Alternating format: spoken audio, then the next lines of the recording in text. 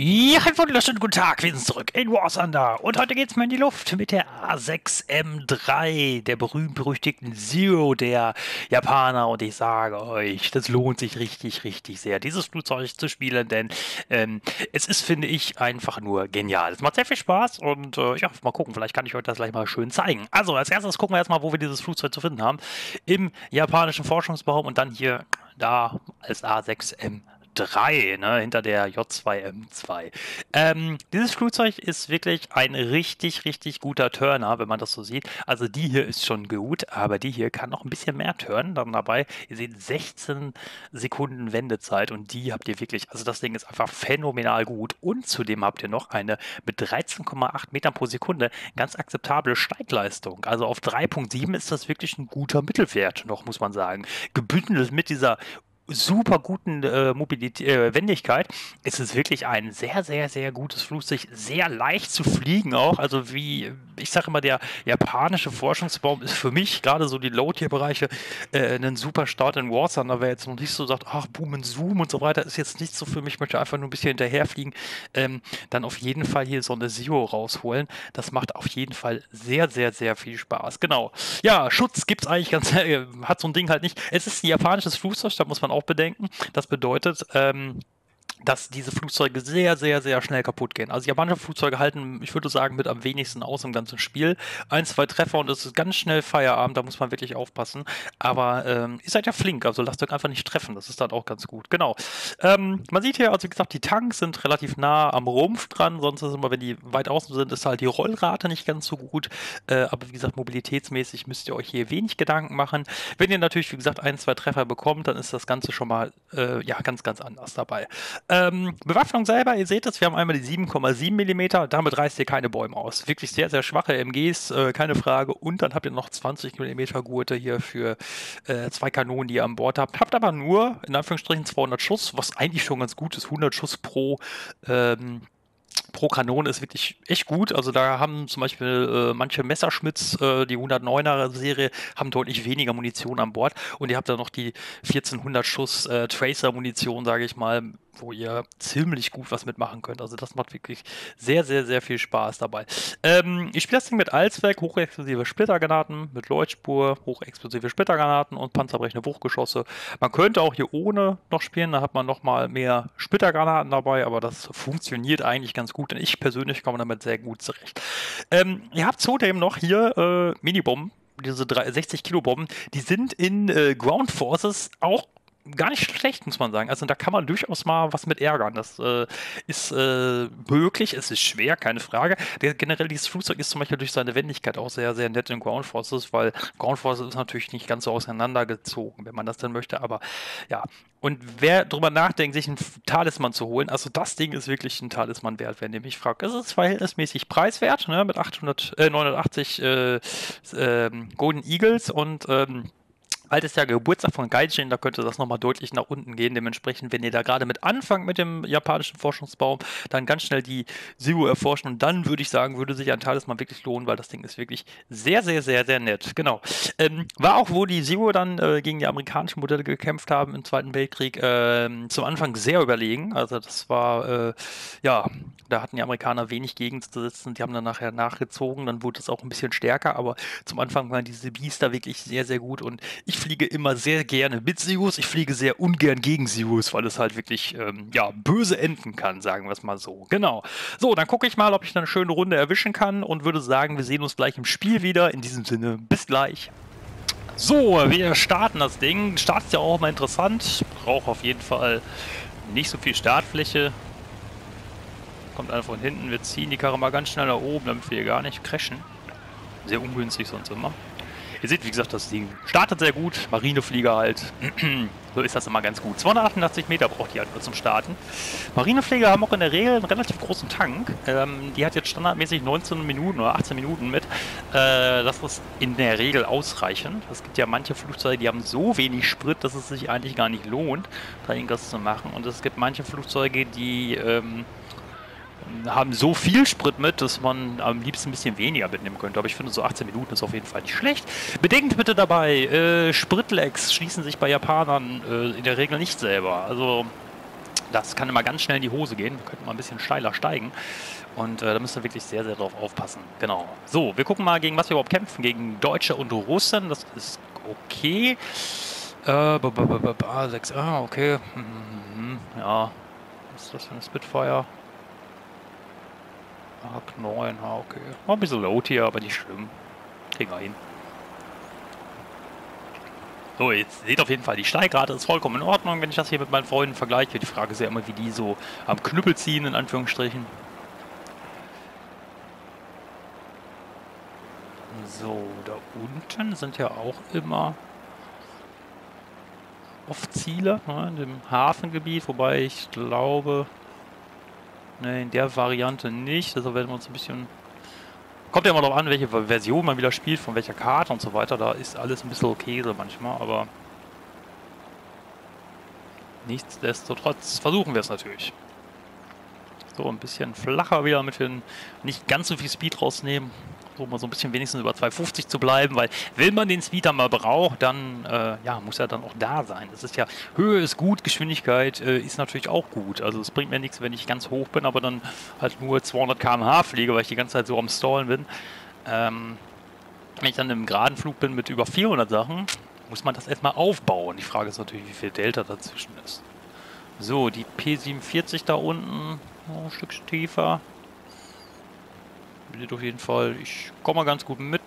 109, also weiß ich nicht was für ein, das ist eine gekaperte F4, oh, nicht schlecht, mag ich.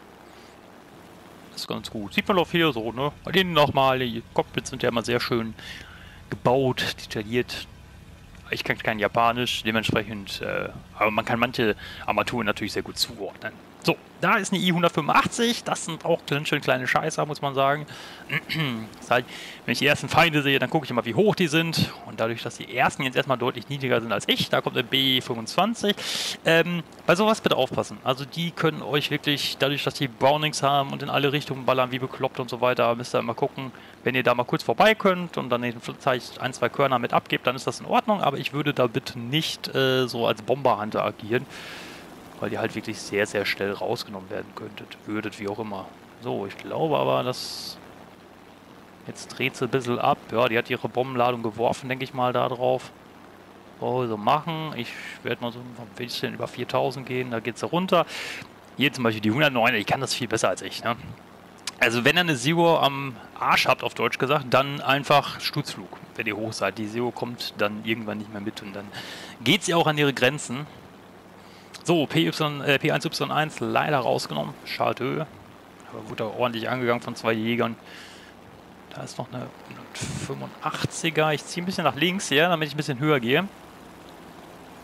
Da gehe ich manchmal lieber so ein bisschen drauf, wenn die Leute im... Da kommen auch die anderen. Ähm, wenn man nicht so dran denkt und dann auf einmal kommt die, die Zero von hinten. Das ist dann das Fiese eigentlich. 190er F hat zugeschlagen, okay. Zwei Bomber verloren ist natürlich nicht gut, keine Frage, aber das ist nicht das Ende der Welt. Auch das muss man sagen. So, jetzt ziehe ich nochmal ein Stückchen höher. Also ganz bewusst richtig doll. So.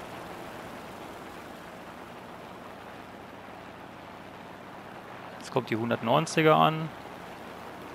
Ja, sieht so aus, ob sie mich haben will. Jetzt wieder Speed aufbauen ganz schnell gerade gesagt habe, ein bisschen übertrieben. So, da kommt sie. Ja, die ist höher als ich. Schneller als ich, aber ich bin deutlich wendiger als sie. Deshalb müssen wir mal gucken. Zieht es ein bisschen nach links, sieht man schön den Kondensstreifen. da kommt eine 109er und die 185. Auch wenn ich es nicht wollte, bin ich trotzdem an den dran. Jetzt mal gleich ganz schnell ausweichen. Nämlich jetzt quasi. Sehr schön, den ersten geduckt. Kommt die 109er an, mal gucken, ob wen die geht.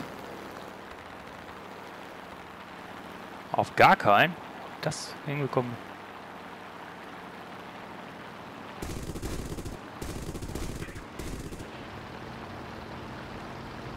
Da kriegen wir nicht ganz hin. Wir stallen hier ganz schön heftig gerade. Ah, Mist. Ja, hätte sein können, dass man vielleicht mal ein, zwei Pünktchen sieht. Jetzt nehme ich das Seitenruder mit dazu. So. Dann sind wir wieder dabei. kommt die andere, eine G. Nein, nicht mit mir.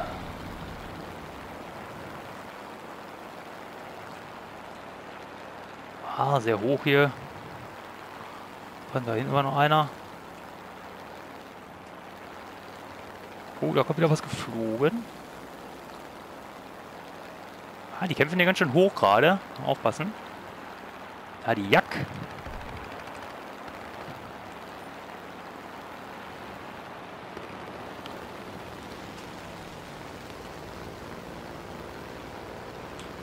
Ihr seht das gerade beim Drehen, ne? wie schnell ihr dann auf einmal auf die draufkommt. Das ist echt der Wahnsinn.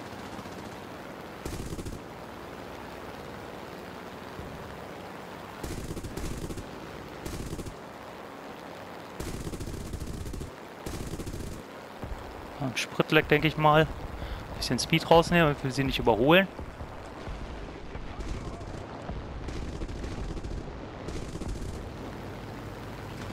Ein bisschen Zielwasser trinken hier.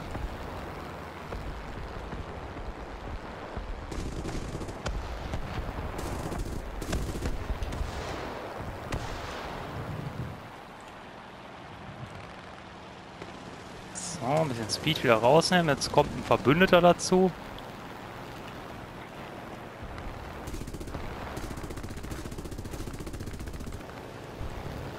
Sind wir schon ganz unten angelangt.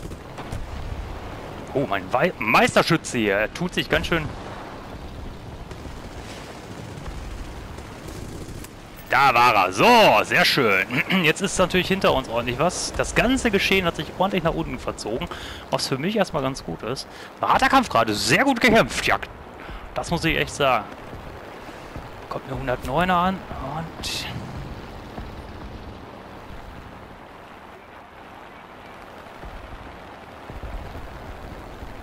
das Gefühl, dass hinter mir was ist. Deshalb drehe ich jetzt mal ein. Ja, ist es auch.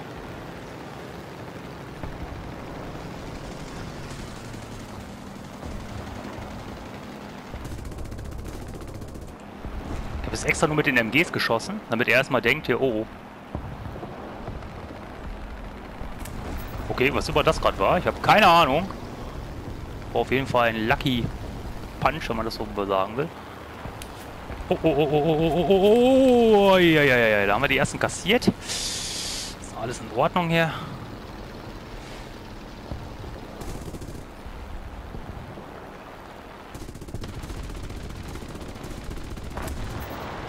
Wahnsinn, das war gerade nur mit den 7-7ern dabei. Das war auf jeden Fall schon ganz gut. Wir schlagen uns hier ganz tapfer, muss ich sagen. Ein bisschen kaputt wir. Ich sehe hinten ordentlich locker drin. G-Reihe. Ich weiß nicht, welches war. So, jetzt ist die Frage, was wir machen. Ich glaube, ich werde mich lieber nach Hause verpieseln. Leider ist jetzt kein... Da hinten... Oh, Jack, okay. Da gehen wir natürlich noch gerne drauf. Jack 9.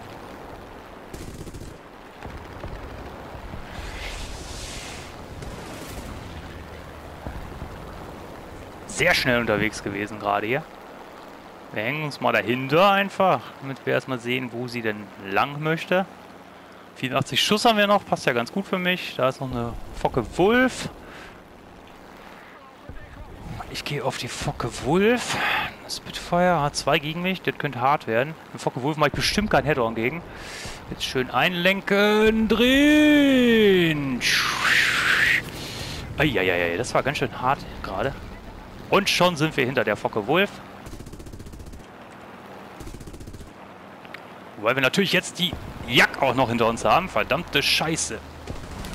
Eieiei, jetzt, haben wir, jetzt sind wir raus. Jetzt sind wir raus. Wobei der hat sich gerade selbst geschrottet. Das ist natürlich ärgerlich dann dabei, ne? Ah, schade, schade, schade. Ja, aber das war, das war hart gekämpft, sag ich mal. Das war, ähm... Ich hoffe, dass es vielleicht noch Ah, das Spitfire geht runter. Ich glaube, die andere A6, die wir da haben, die ist, ja, die ist, glaube ich, leer. Zumindest sah das schwer danach aus. Oben ist auf jeden Fall noch ein schöner Kampf zu sehen, sagen wir mal so. Wir gehen hier mal so hoch raus in der Form, weil da können wir definitiv nichts mehr machen. Ich glaube aber, die Spitfire, die wird da ganz schön kämpfen. Schade, dass wir es nicht nach Hause gebracht haben. Das wäre noch richtig schön gewesen. Das ist die Spitfire, die ja, schön Motorschaden auf jeden Fall hat. Hier nur am Turnen ist. Ach Mann, ey. Das wird nix. Jetzt bist du dran, kleiner Mann. Ei, oh, er hat aber Glück gehabt. Ja, da. Das sah schon vom... Ah, wer weiß, wie schwer sie kaputt war. Genau. Das ist die andere A6M 5 in der Hinsicht. Ja, das wird sehr eng werden. Wenn wir auf Statistiken gucken. Einen haben wir noch, einen Jäger. Hm, mal gucken. Das ist die Frage, wer es denn dann so wird. Naja. So, für uns leider nichts mehr, aber trotzdem hat man, glaube ich, ganz gut gesehen, was dieses Flugzeug kann. Äh, mit der Jacke habe ich mich ein bisschen, also mit der Jagd 3, echt schwer getan, muss ich sagen. Die hat aber auch also die wollte nicht aufgeben, keine Frage. Und das Fiese ist wirklich, man hat die Zero hinter sich auf der Höhe. Ähm, es ist eigentlich fast ein Todesurteil, sagen wir mal. Ich musste eben aufpassen, dass ich den Schub schnell zurücknehme, damit ich da nicht zu weit vorpresche, weil dann habe ich dann andere Probleme dann dabei. Weiche Landung gab es wenigstens noch dabei, Doppelschlag und Jägerretter. Also, ähm, ja, ihr seht 29.000. Die Runde ist noch nicht vorbei, 2100 nochmal so dabei. Also das war fand ich auf jeden Fall eine ganz nette Runde. Sofern die Zero jetzt mal kommt. Und das Gute ist, ihr wisst, ich mache die automatische Reparatur aus, weil jetzt kann ich sie einfach in der Ecke stellen erstmal und dann vielleicht mal ein bisschen die Reparaturkosten drücken. Die Reparaturkosten hier mit maximal 7843, das ist vollkommen in Ordnung und macht richtig viel Spaß, weil es gibt Flugzeuge und das finde ich abartig persönlich diese zu fliegen macht dann noch weniger Spaß. Wenn ich hier bei den Franzosen, äh, bei den Italienern zum Beispiel gucke, dann bin ich hier bei äh, Reparaturkosten 26.000. Ne? 15.000. 9.000, das geht ja noch. 29.000 für eine G56. Krank, also richtig krank. 21.000 hier. Also das ist wirklich, ich glaube, die ging noch, ne? Die hat nur nur 7000. Also das ist äh, als Beispiel nur dabei, wo man da landen kann. Und das ist wirklich, das ist bezahlbares Fliegen. Und ähm, weil ich nämlich jetzt zum Beispiel äh, bei meinen nächsten Erforschungen hier auf der J2M, momentan habe ich ja die N1K1, kein schlechtes Flugzeug, aber ihr seht auch 12.000 Reparaturkosten, was noch recht human ist für ein Flugzeug, muss man auch sagen.